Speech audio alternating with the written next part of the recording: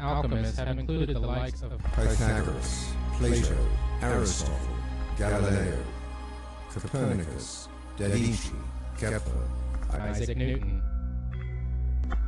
Newton was not only the father of physics, he tried to be the father of chemistry as well. Except back then in the 1600s, they called it alchemy.